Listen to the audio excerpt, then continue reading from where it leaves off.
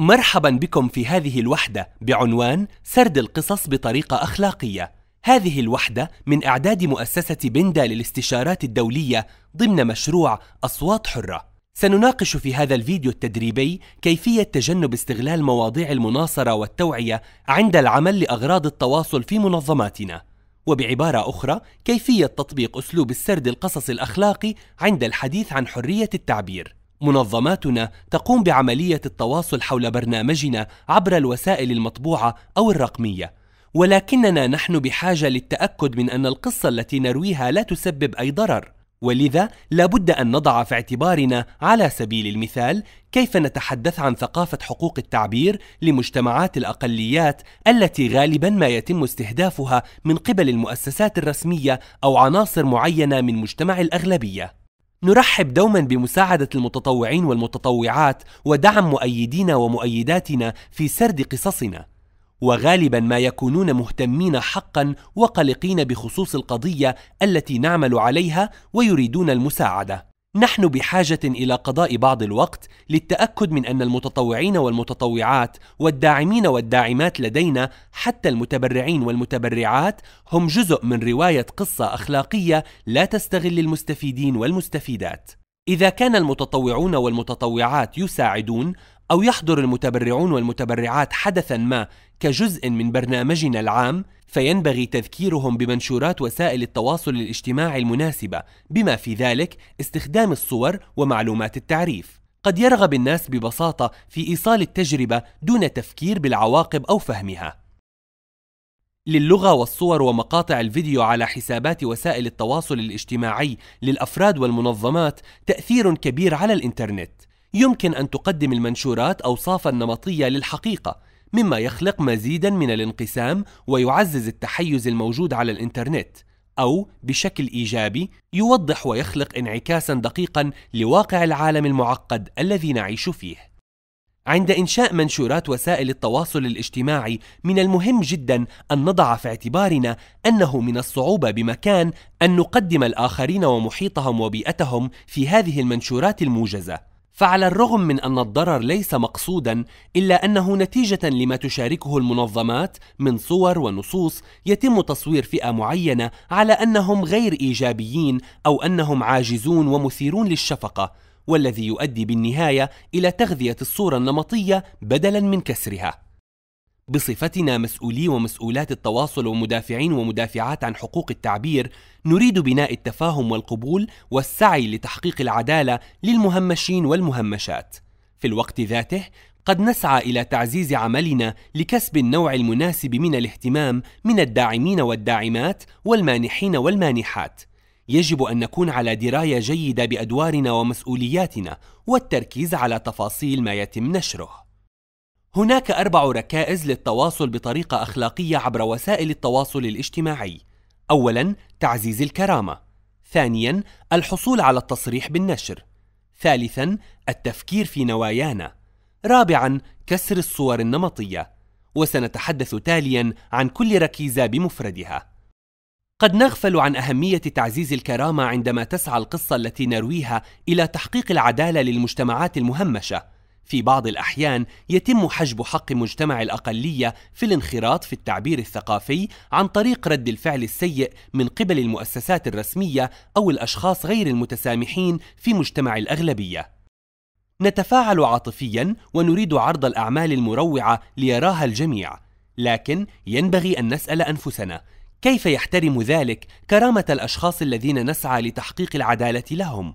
ينبغي تجنب استخدام الكلمات التي تحبط أو تروج للصور النمطية وهذا يشمل استخدام الصور. لدينا المسؤولية والسلطة للتأكد من أن ما نكتبه وننشره لا يحط من كرامة الأشخاص الذين نتفاعل معهم. لا بد أن نضع في اعتبارنا دائما أن الناس ليسوا مناطق جذب سياحي. يجب ألا نستغل وضعهم من أجل سرد قصة مقنعة. بدلا من ذلك نحتاج إلى إيجاد عناصر مقنعة من تجربتهم تحكي القصة الحقيقية. التصريح بالنشر عنصر أساسي في التصوير بطريقة مسؤولة للآخرين على وسائل التواصل الاجتماعي. ينبغي أن نحترم خصوصية الآخرين وأن نطلب الإذن إن كنا نريد التقاط الصور ومشاركتها على وسائل التواصل الاجتماعي أو في أي مكان آخر. يجب أن نتجنب التقاط صور لأشخاص في وضع ضعيف أو مهين، بما في ذلك المستشفيات ومرافق الرعاية الصحية الأخرى ما لم تكن قصتنا تحتوي على عنصر صحي محدد. هناك حاجة إلى انتباه خاص عند التقاط الصور للأطفال ومعهم ومشاركتها بما في ذلك موافقة والديهم أو القائمين والقائمات على رعايتهم أو الأوصياء عليهم مع الاستماع أيضا إلى صوت الطفل واحترامه تظهر الصورة شخصا يوقع على نموذج موافقة عند توثيق أنشطتنا يجب أن نبذل قصارى جهدنا للحصول على الموافقة على الصور والرسومات التي قد نستخدمها في المستقبل. وهذا يشمل الفيديو الذي قد نشاركه على وسائل التواصل الاجتماعي. هذا مهم بشكل خاص إذا كانت صورنا أو مقاطع الفيديو الخاصة بنا تتضمن أطفالا قاصرين. سنحتاج إلى موافقة الوالدين أو الأوصياء.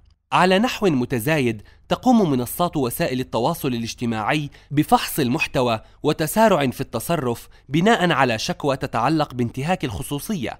قد لا يمنع نموذج الموافقة من إزالة الصور بواقع التواصل الاجتماعي ولكنها ستساعدنا في أي إجراء قانوني محتمل في حالة حدوث ذلك. لماذا نحكي هذه القصة؟ هل لأنفسنا أو لمنظمتنا أم أننا نريد حقا أن تحدث فرقا؟ قد تؤثر نوايانا على كيفية تقديم تجاربنا والأشياء المحيطة بنا على وسائل التواصل الاجتماعي. على سبيل المثال من خلال عرض السياق الذي نعيش فيه على أنه غريب وأجنبي أكثر مما قد يكون ينبغي أن نسأل نفسنا لماذا نشارك ما نشاركه؟ هل نحن الشخص الأكثر صلة بهذه الحالة؟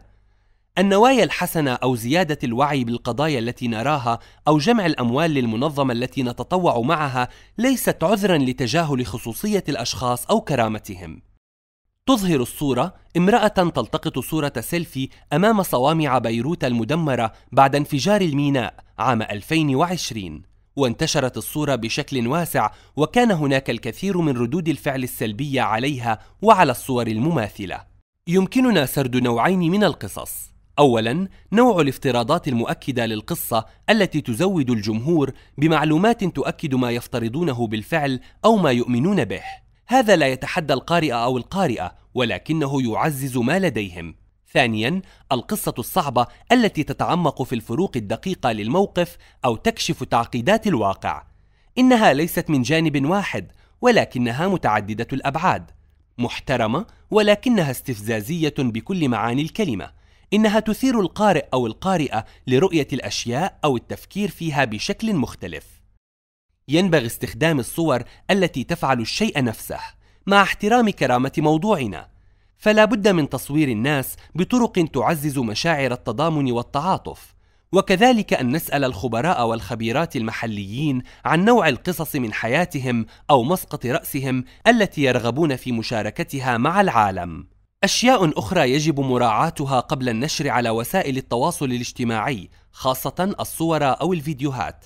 اولا الحصول على التهجئه الصحيحه لأسماء الأشخاص وروابط وسائل التواصل الاجتماعي الخاصة بهم والحصول على خلفية عن الأشخاص الذين تم تصويرهم.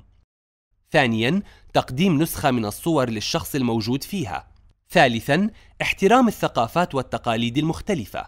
رابعا أن نسأل نفسنا هل كنت سأقبل أن يتم تصويري بنفس الطريقة؟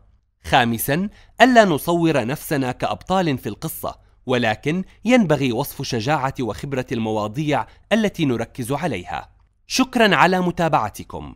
هذه المادة من إعداد مؤسسة بندا للاستشارات الدولية ضمن مشروع أصوات حرة والذي ينفذه تحالف كل من معهد صحافة الحرب والسلام مؤسسة بندا للاستشارات الدولية. مراسلون بلا حدود منظمة الدفاع عن الإعلام وبدعم من حكومة المملكة المتحدة لبريطانيا العظمى وشمال إيرلندا.